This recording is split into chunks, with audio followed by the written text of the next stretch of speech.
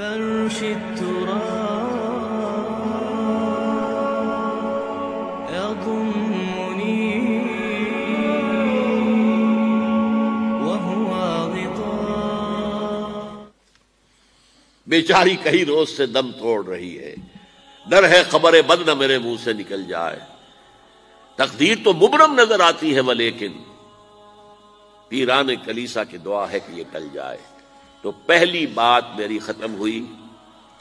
आलमी निज़ाम खिलाफत दुनिया की तकदीर मुबरम है, होकर रहेगी इसमें किसी साहिब ईमान को। कोई शक, कोई शुबा, कोई रैब नहीं होना चाहिए। अलबत् उसका अब दूसरा पहलू क्या है? इसका आगाज़ कहाँ से होगा? अब वो नुकता कौन सा होगा? नुकता आगाज़ कौन सा होगा? इसमें पहली बात तो मैंने कहा, जो शक करेगा, उसका फिर ईमान मशकूक है। होगा, लाजमन होगा। ग्लोबल होगा, पूरी दुनिया में होगा। कहाँ से शुरू होगा, इसमें आप इख्तलाफ कर सकते हैं। लेकिन मुझे तो दो हदीसें तो मिली हैं, जिनसे यह अंदाज़ा होता है कि यह इस मशरकी खत्े से होगा, अरब के मशरक की जानब किसी मुल्क से होगा, किसी खत्े से होगा। वो हदीसें भी अब आप पढ़ लीजिए पहले। फिर मैं कह रहा हूँ, ये खजाना है जो हमने आपकी खिदमत में पेश किया है। काश कि आप इसकी कदर कर सकें। ये हदीसें आपको अजबर हो जाए, याद हो जाए। लोहे कल पर नक्श हो जाए। हिंदुस्तान और खुरासान, यानी मौजूदा अफ़गानिस्तान का ज़िक्र।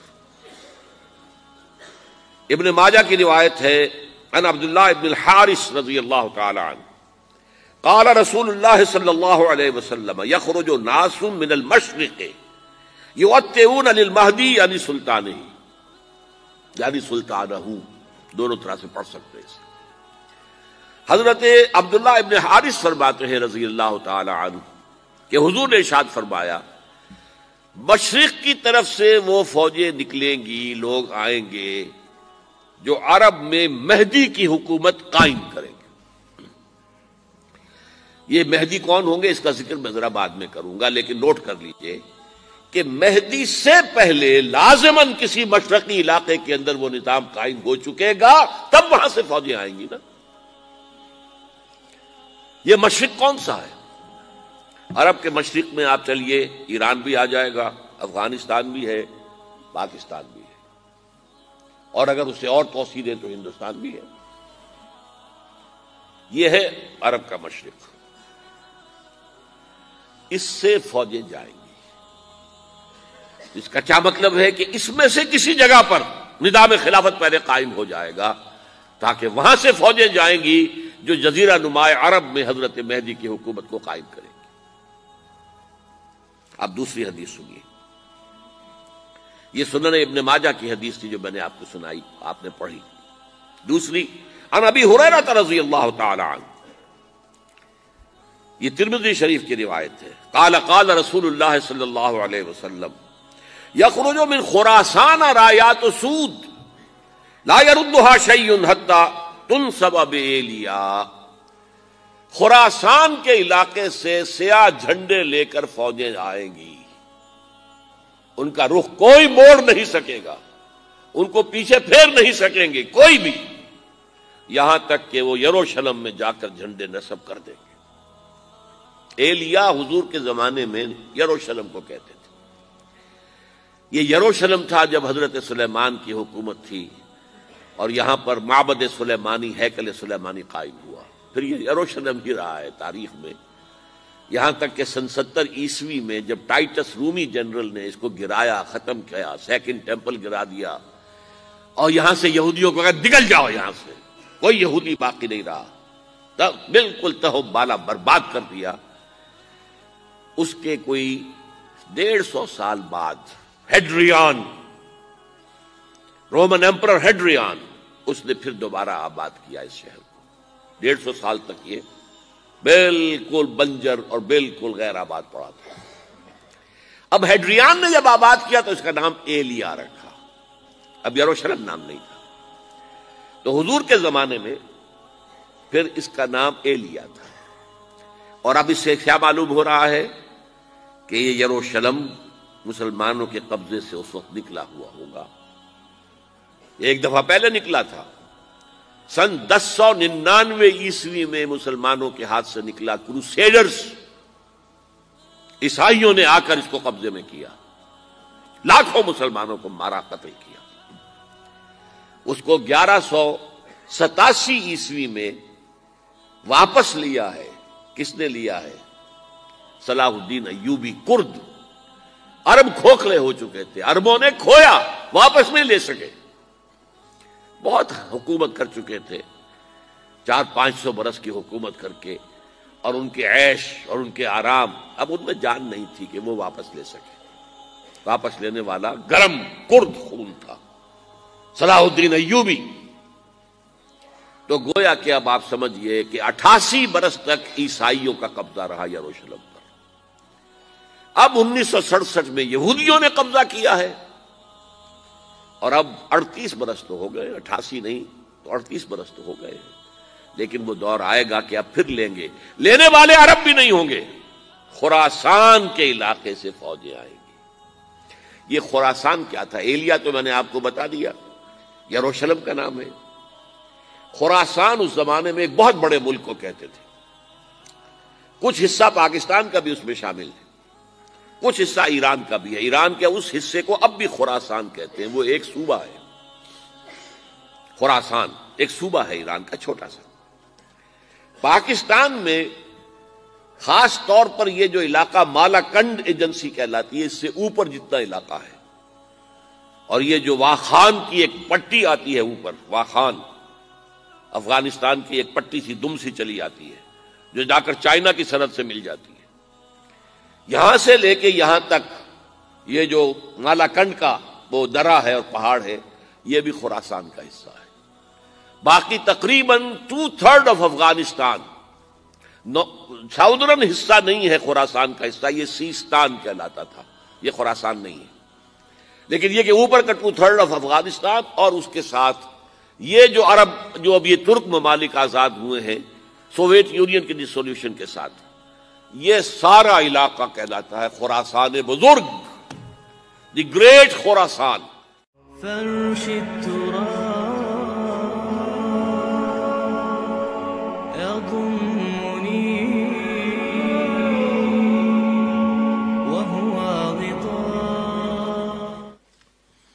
बेचारी कई रोज से दम तोड़ रही है। डर है खबरें बद न मेरे मुँह से निकल जाए। तकदीर तो मुबरम नज़र आती है वह लेकिन पीरान कलीसा की दुआ है कि यह टल जाए। तो पहली बात मेरी खत्म हुई। आलमी निज़ाम खिलाफत दुनिया की तकदीर मुबरम है, होकर रहेगी इसमें किसी साहिब ईमान को। कोई शक, कोई शुबा, कोई रैब नहीं होना चाहिए। अलबत् उसका अब दूसरा पहलू क्या है? इसका आगाज़ कहाँ से होगा? अब वो नुकता कौन सा होगा? नुकता आगाज़ कौन सा होगा? इसमें पहली बात तो मैंने कहा, जो शक करेगा, उसका फिर ईमान मशकूक है। होगा, लाजमन होगा। ग्लोबल होगा, पूरी दुनिया में होगा। कहाँ से शुरू होगा, इसमें आप इख्तलाफ कर सकते हैं। लेकिन मुझे तो दो हदीसें तो मिली हैं, जिनसे यह अंदाज़ा होता है कि यह इस मशरकी खत्े से होगा, अरब के मशरक की जानब किसी मुल्क से होगा, किसी खत्े से होगा। वो हदीसें भी अब आप पढ़ लीजिए पहले। फिर मैं कह रहा हूँ यह खजाना है जो हमने आपकी खिदमत में पेश किया है। काश कि आप इसकी कदर कर सकें। ये हदीसें आपको अजबर हो जाए, याद हो जाए। लोहे कल पर नक्श हो जाए। हिंदुस्तान और खुरासान, यानी मौजूदा अफ़गानिस्तान का ज़िक्र। इबन माजा की रिवायत है, अन अब्दुल्ला इबन हारिस रज़ी अल्लाह तन काला रसूल सल्लल्लाहु अलैहि वसल्लम, यखरुज नासुम मिनल मशरक़, युअत्तऊन अनिल महदी यानी सुल्तान ही यानी सुल्तान दोनों तरह से पढ़ सकते हैं हज़रत अब्दुल्ला इबन हारिस फरमाते हैं रज़ी अल्लाह तन कि हुजूर ने इशाद फरमाया, मशरक की तरफ़ से वो फौजें निकलेंगी, लोग आएँगे जो अरब में मेहदी की हुकूमत कायम करेंगे। ये मेहदी कौन होंगे, इसका ज़िक्र मैं जरा बाद में करूँगा, लेकिन नोट कर लीजिए कि मेहदी से पहले लाजमन किसी मशरकी इलाके के अंदर वो निज़ाम कायम हो चुकेगा, तब वहाँ से फौजें आएँगी ना। ये मशरक कौन सा है? अरब के मशरक में आप चलिए, ईरान भी आ जाएगा, अफ़गानिस्तान भी है, पाकिस्तान भी और अगर उसे और तोसी दें तो हिंदुस्तान भी है। यह है अरब का मशरक।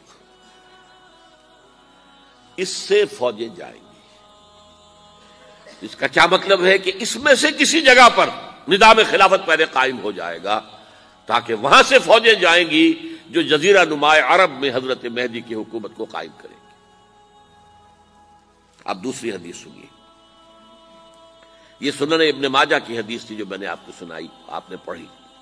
दूसरी, अन अभी हुरैरा रज़ी अल्लाह तन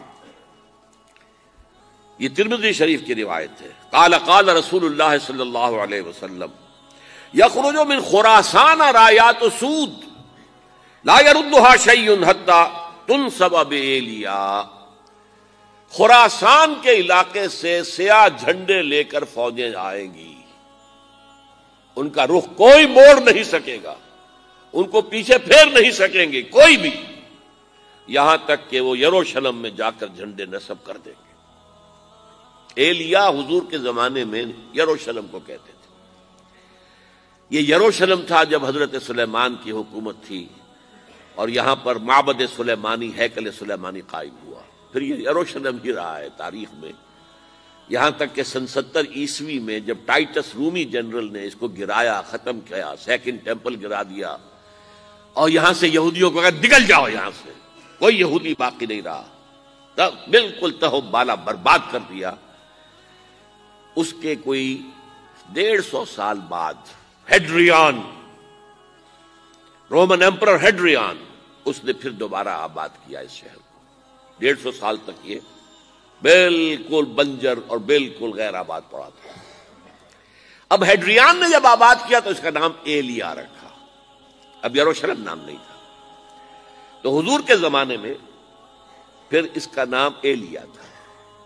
और अब इससे क्या मालूम हो रहा है कि ये यरूशलेम मुसलमानों के कब्जे से उस वक्त निकला हुआ होगा। एक दफ़ा पहले निकला था। सन दस सौ निन्यानवे ईस्वी में मुसलमानों के हाथ से निकला क्रूसेडर्स। ईसाइयों ने आकर इसको कब्जे में किया। लाखों मुसलमानों को मारा, कत्ल किया। उसको ग्यारह सौ सतासी ईस्वी में वापस लिया है। किसने लिया है? सलाहुद्दीन अयूबी कुर्द। अरब खोखले हो चुके थे। अरबों ने खोया, वापस नहीं ले सके। बहुत हुकूमत कर चुके थे। चार पाँच सौ बरस की हुकूमत करके और उनके ऐश और उनके आराम अब उनमें जान नहीं थी कि वो वापस ले सके। वापस लेने वाला गरम कुर्द खून था। सलाहुद्दीन अयूबी तो गोया कि अब आप समझिए कि अठासी बरस तक ईसाइयों का कब्जा रहा यरूशलेम पर। अब उन्नीस सौ सड़सठ में यहूदियों ने कब्जा किया है। और अब अड़तीस बरस तो हो गए अट्ठासी नहीं तो अड़तीस बरस तो हो गए लेकिन वो दौर आएगा कि अब फिर लेंगे। लेने वाले अरब भी नहीं होंगे। खुरासान के इलाके से फौजें आएँगी। ये खुरासान क्या था? एलिया तो मैंने आपको बता दिया। यरूशलेम का नाम है।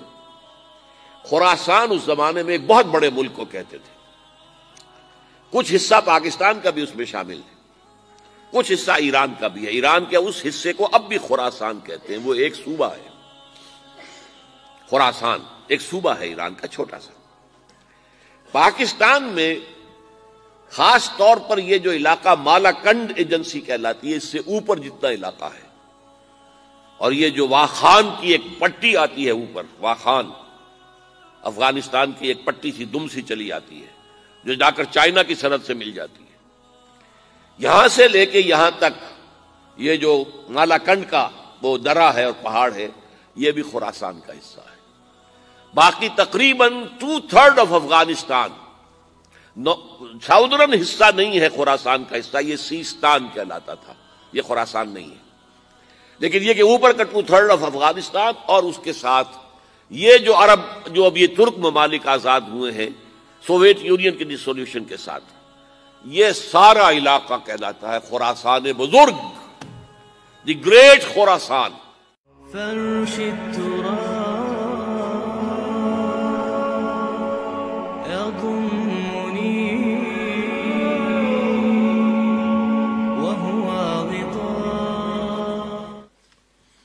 बेचारी कहीं रोज से दम तोड़ रही है। डर है खबरें बद न मेरे मुँह से निकल जाए। तकदीर तो मुबरम नज़र आती है, वह लेकिन पीरान कलीसा की दुआ है कि यह टल जाए। तो पहली बात मेरी खत्म हुई। आलमी निज़ाम खिलाफत दुनिया की तकदीर मुबरम है, होकर रहेगी इसमें किसी साहिब ईमान को। कोई शक, कोई शुबा, कोई रैब नहीं होना चाहिए। अलबत्ता उसका अब दूसरा पहलू क्या है? इसका आगाज़ कहाँ से होगा? अब वो नुकता कौन सा होगा? नुकता आगाज़ कौन सा होगा? इसमें पहली बात तो मैंने कहा, जो शक करेगा, उसका फिर ईमान मशकूक है। होगा, लाजमन होगा। ग्लोबल होगा, पूरी दुनिया में होगा। कहाँ से शुरू होगा, इसमें आप इख्तलाफ कर सकते हैं। लेकिन मुझे तो दो हदीसें तो मिली हैं, जिनसे यह अंदाज़ा होता है कि यह इस मशरकी खत्ते से होगा, अरब के मशरक की जानब किसी मुल्क से होगा, किसी खत्ते से होगा। वो हदीसें भी अब आप पढ़ लीजिए पहले। फिर मैं कह रहा हूँ यह खजाना है जो हमने आपकी खिदमत में पेश किया है। काश कि आप इसकी कदर कर सकें। ये हदीसें आपको अजबर हो जाए, याद हो जाए। लोहे कल्ब पर नक्श हो जाए। हिंदुस्तान और खुरासान, यानी मौजूदा अफ़गानिस्तान का ज़िक्र।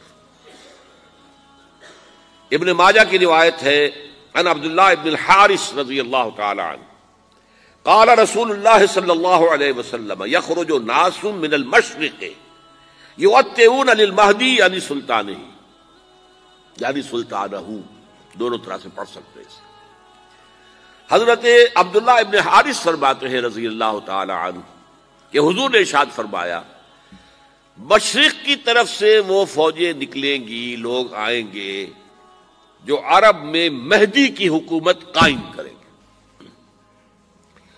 ये मेहदी कौन होंगे, इसका ज़िक्र मैं जरा बाद में करूँगा, लेकिन नोट कर लीजिए कि मेहदी से पहले लाजमन किसी मशरकी इलाके के अंदर वो निज़ाम कायम हो चुकेगा, तब वहाँ से फौजें आएँगी ना। ये मशरक कौन सा है?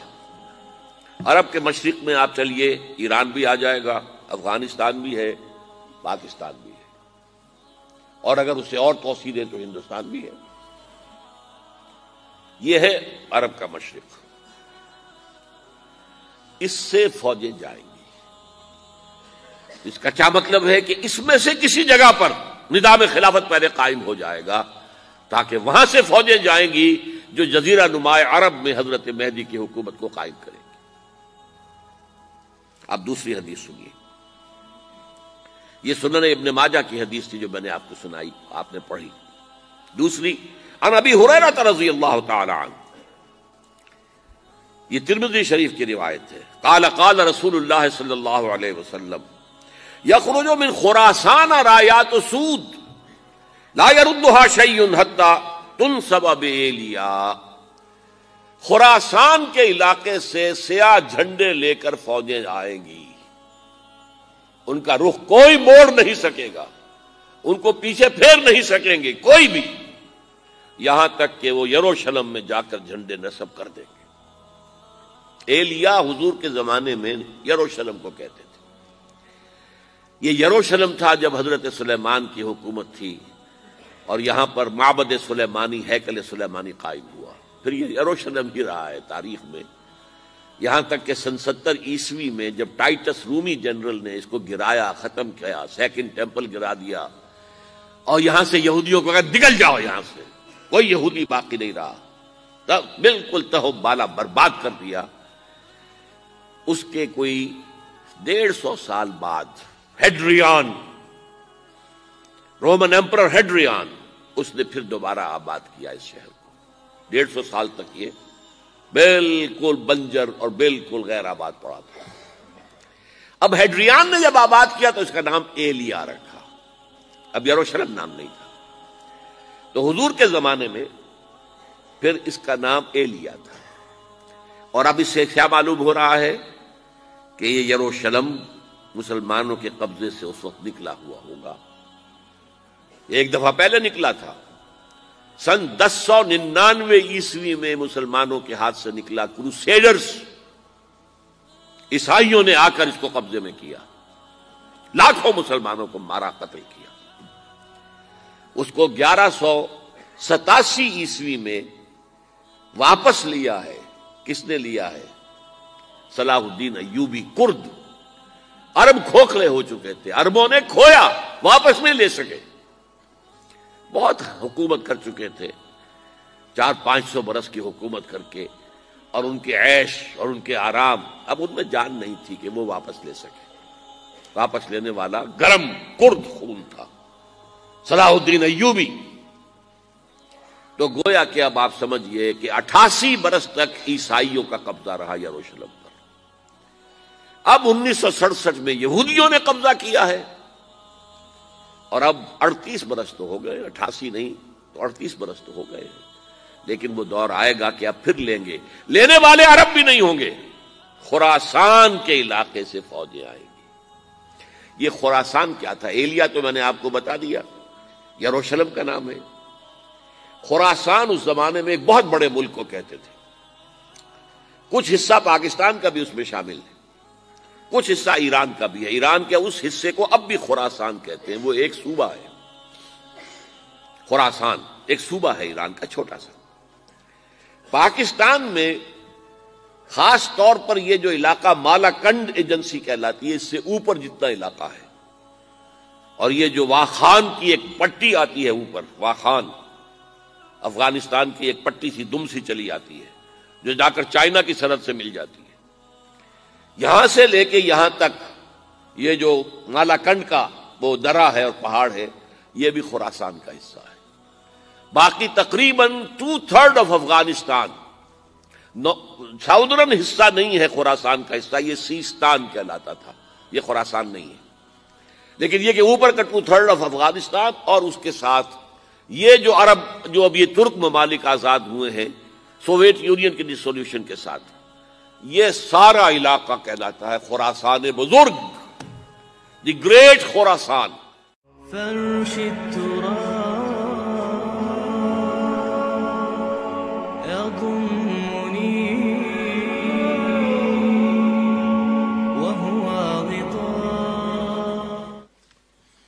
बेचारी कहीं रोज से दम तोड़ रही है। डर है खबरें बद न मेरे मुँह से निकल जाए। तकदीर तो मुबरम नज़र आती है वलेकिन। पीरान कलीसा की दुआ है कि ये टल जाए। तो पहली बात मेरी खत्म हुई। आलमी निज़ाम खिलाफत दुनिया की तकदीर मुबरम है। होकर रहेगी इसमें किसी साहिब ईमान को। कोई शक, कोई शुबा, कोई रैब नहीं होना चाहिए। अलबत्ता उसका अब दूसरा पहलू क्या है? इसका आगाज़ कहाँ से होगा? अब वो नुकता कौन सा होगा? नुकता आगाज़ कौन सा होगा? इसमें पहली बात तो मैंने कहा, जो शक करेगा, उसका फिर ईमान मशकूक है। होगा, लाजमन होगा। ग्लोबल होगा, पूरी दुनिया में होगा। कहाँ से शुरू होगा, इसमें आप इख्तलाफ कर सकते हैं। लेकिन मुझे तो दो हदीसें तो मिली हैं, जिनसे यह अंदाज़ा होता है कि यह इस मशरकी खत्ते से होगा, अरब के मशरक की जानब किसी मुल्क से होगा, किसी खत्ते से होगा। वो हदीसें भी अब आप पढ़ लीजिए पहले। फिर मैं कह रहा हूँ यह खजाना है जो हमने आपकी खिदमत में पेश किया है। काश कि आप इसकी कदर कर सकें, ये हदीसें आपको अजबर हो जाए, याद हो जाए, लोहे कल्ब पर नक्श हो जाए। हिंदुस्तान और खुरासान, यानी मौजूदा अफ़गानिस्तान का ज़िक्र। इब्न माजा की रिवायत है, अन अब्दुल्ला इब्न हारिस रज़ी अल्लाह तन काला रसूल सल्लल्लाहु अलैहि वसल्लम, यखरुज नासुम मिनल मशरिक युवत्तून अनिल महदी यानी सुल्तान ही यानी सुल्तान दोनों तरह से पढ़ सकते हैं। हज़रत अब्दुल्ला इब्न हारिस फरमाते हैं रज़ी अल्लाह तु कि हुजूर ने इशाद फरमाया, मशरक की तरफ़ से वो फौजें निकलेंगी, लोग आएँगे जो अरब में मेहदी की हुकूमत कायम करेंगे। ये मेहदी कौन होंगे, इसका ज़िक्र मैं जरा बाद में करूँगा, लेकिन नोट कर लीजिए कि मेहदी से पहले लाजमन किसी मशरकी इलाके के अंदर वो निज़ाम कायम हो चुकेगा, तब वहाँ से फौजें आएँगी ना। ये मशरक कौन सा है? अरब के मशरक में आप चलिए, ईरान भी आ जाएगा, अफ़गानिस्तान भी है, पाकिस्तान भी और अगर उसे और तोसी दे तो हिंदुस्तान भी है। यह है अरब का मशरक। इससे फौजें जाएँगी। इसका क्या मतलब है कि इसमें से किसी जगह पर निदाम खिलाफत पहले कायम हो जाएगा, ताकि वहाँ से फौजें जाएँगी जो जजीरा नुमाए अरब में हज़रत मेहदी की हुकूमत को कायम करेंगी। अब दूसरी हदीस सुनिए। ये सुनने इब्ने माजा की हदीस थी जो मैंने आपको सुनाई, आपने पढ़ी। दूसरी, अन अभी हुरैरा रज़ी अल्लाह तआला ये तिरमिजी शरीफ की रिवायत है। काला, काल रसूल सल्लल्लाहु अलैहि वसल्लम, यखरुजो मिन खुरासान रायात सूद लायरुद्दुहा शैयुन हत्ता तुन सब लिया खुरासान के इलाके से सिया झंडे लेकर फौजें आएँगी। उनका रुख कोई मोड़ नहीं सकेगा। उनको पीछे फेर नहीं सकेंगे, कोई भी। यहाँ तक कि वो यरूशलम में जाकर झंडे नस्ब कर देंगे। एलिया हुजूर के जमाने में यरूशलम को कहते थे। ये यरूशलम था जब हज़रत सुलेमान की हुकूमत थी और यहाँ पर माबद सुलेमानी, हैकल सुलेमानी कायम हुआ। फिर ये यरूशलम ही रहा है तारीख में। यहाँ तक कि सन सत्तर ईस्वी में जब टाइटस रूमी जनरल ने इसको गिराया, खत्म किया, सेकंड टेंपल गिरा दिया, और यहाँ से यहूदियों को कहा निकल जाओ यहाँ से, कोई यहूदी बाकी नहीं रहा। तब बिल्कुल तहो बाला बर्बाद कर दिया। उसके कोई डेढ़ सौ साल बाद हेड्रियान, रोमन एम्पर हेड्रियान, उसने फिर दोबारा आबाद किया इस शहर को। डेढ़ सौ साल तक ये बिल्कुल बंजर और बिल्कुल गैर आबाद पड़ा था। अब हेड्रियान ने जब आबाद किया तो इसका नाम एलिया रखा। अब यरूशलेम नाम नहीं था। तो हुजूर के जमाने में फिर इसका नाम एलिया था। और अब इससे क्या मालूम हो रहा है कि ये यरूशलेम मुसलमानों के कब्जे से उस वक्त निकला हुआ होगा। एक दफ़ा पहले निकला था। सन दस सौ निन्यानवे ईस्वी में मुसलमानों के हाथ से निकला क्रूसेडर्स ईसाइयों ने आकर इसको कब्जे में किया। लाखों मुसलमानों को मारा, कत्ल किया। उसको ग्यारह सौ सतासी ईस्वी में वापस लिया है। किसने लिया है? सलाहुद्दीन अयूबी कुर्द। अरब खोखले हो चुके थे। अरबों ने खोया, वापस नहीं ले सके। बहुत हुकूमत कर चुके थे। चार पाँच सौ बरस की हुकूमत करके और उनके ऐश और उनके आराम, अब उनमें जान नहीं थी कि वो वापस ले सके। वापस लेने वाला गरम कुर्द खून था। सलाहुद्दीन अयूबी तो गोया कि अब आप समझिए कि अठासी बरस तक ईसाइयों का कब्जा रहा यरूशलेम पर। अब उन्नीस में यहूदियों ने कब्जा किया है। और अब अड़तीस बरस तो हो गए अट्ठासी नहीं तो अड़तीस बरस तो हो गए लेकिन वो दौर आएगा कि अब फिर लेंगे। लेने वाले अरब भी नहीं होंगे। खुरासान के इलाके से फौजें आएँगी। ये खुरासान क्या था? एलिया तो मैंने आपको बता दिया। यरूशलेम का नाम है। खुरासान उस जमाने में एक बहुत बड़े मुल्क को कहते थे। कुछ हिस्सा पाकिस्तान का भी उसमें शामिल है। कुछ हिस्सा ईरान का भी है। ईरान के उस हिस्से को अब भी खुरासान कहते हैं। वो एक सूबा है। खुरासान, एक सूबा है ईरान का, छोटा सा। पाकिस्तान में खास तौर पर यह जो इलाका मालाकंड एजेंसी कहलाती है, इससे ऊपर जितना इलाका है।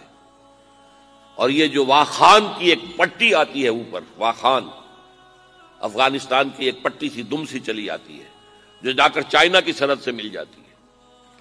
यहाँ से लेके यहाँ तक ये जो नालाकंड का वो दरा है और पहाड़ है, ये भी खुरासान का हिस्सा है।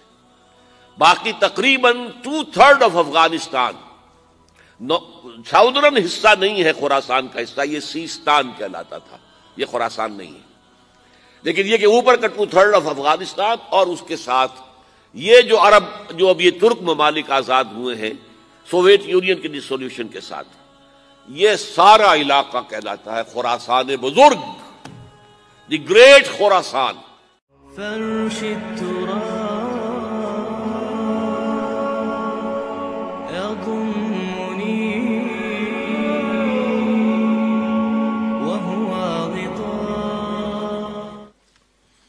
बेचारी कहीं रोज से दम तोड़ रही है। डर है खबरें बंद न मेरे मुँह से निकल जाए। तकदीर तो मुबरम नज़र आती है वह, लेकिन पीरान कलीसा की दुआ है कि यह टल जाए। तो पहली बात मेरी खत्म हुई।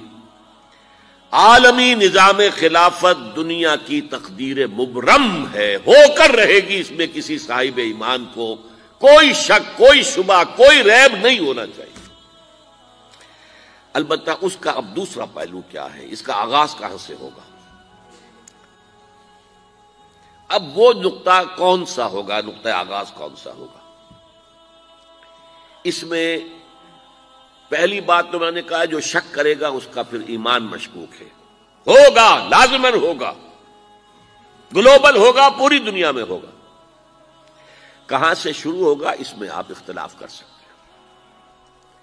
लेकिन मुझे तो दो हदीसें तो मिली हैं, जिनसे यह अंदाज़ा